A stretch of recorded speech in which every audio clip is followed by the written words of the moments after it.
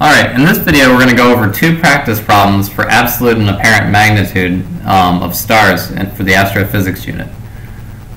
So the first problem tells us the star Pollux has an apparent magnitude of positive 1.2 and lies at a distance of 12 parsecs from Earth, and we're being asked to calculate its absolute magnitude.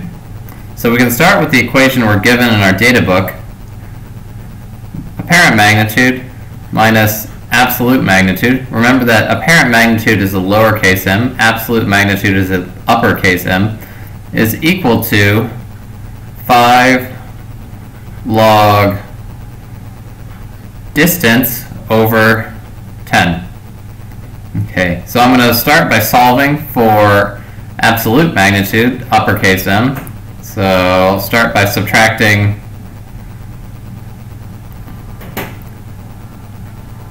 magnitude from both sides. Alright, now I'm going to multiply both sides by negative 1 to get rid of this negative sign.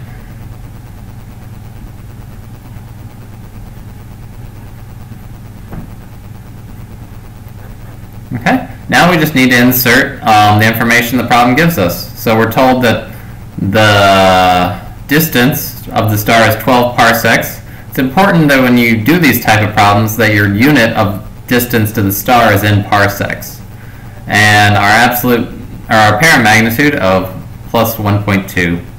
So let's see, absolute magnitude equals negative 5 log of distance, which is 12 parsecs, divided by 10, plus magnitude of 1.2, we find that the absolute magnitude of this star, uh, Pollux, is 0.8. Oh, and that's positive.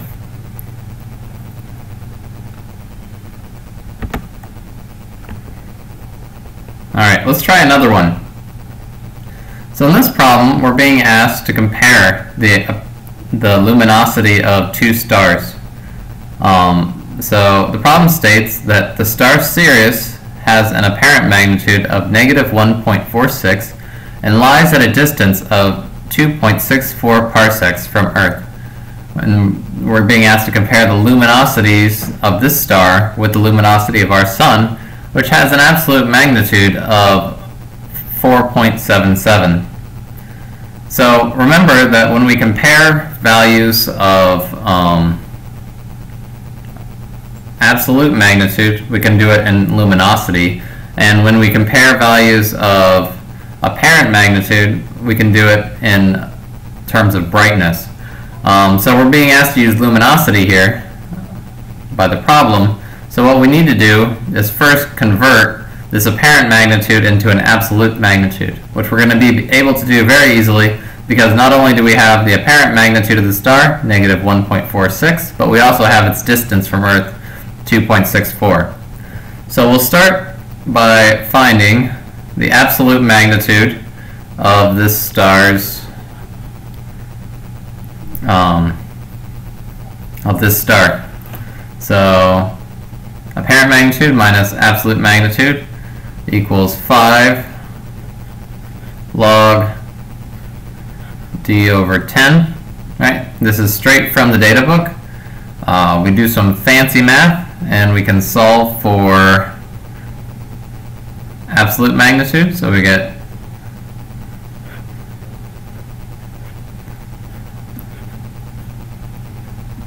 negative 5 log d over 10 plus apparent magnitude.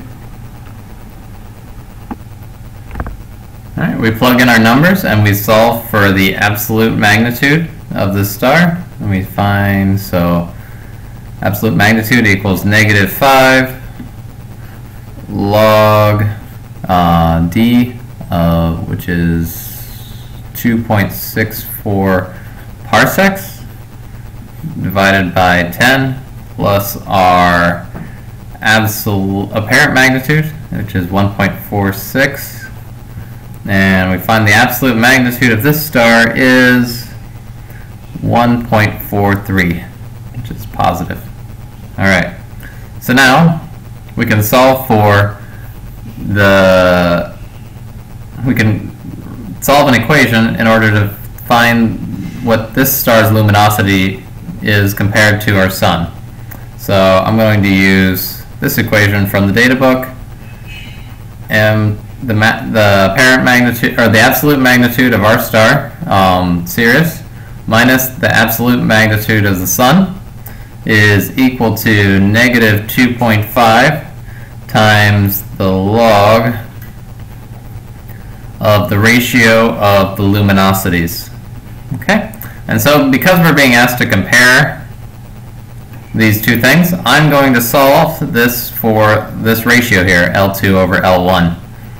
Okay, so let's see. So I got M2 minus M1 divided by negative 2.5 and that's equal to the log of our ratio of luminosities. Okay, now I'm going to take both sides um, to the, I'm going to take both sides to over 10. Um, so 10 to the m2 minus m1 divided by negative 2.5 is equal to the ratio of our luminosities, which is what we're trying to find. And to, taking it to the 10th power gets rid of that log. So now all I have to do is substitute. So 10 to the 1.43 minus m1, which the problem tells us is positive 4.77, divided by negative 2.5, gives us 21.7, which means that Sirius is 21.7 times more luminous than our sun. Alright, that's it.